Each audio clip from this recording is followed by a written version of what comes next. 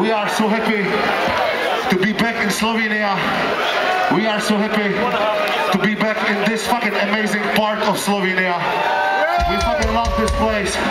We are so happy to be a part of the Tolminator Part 2. And as I said before, we came here to have a party, guys, because you are our private party for today.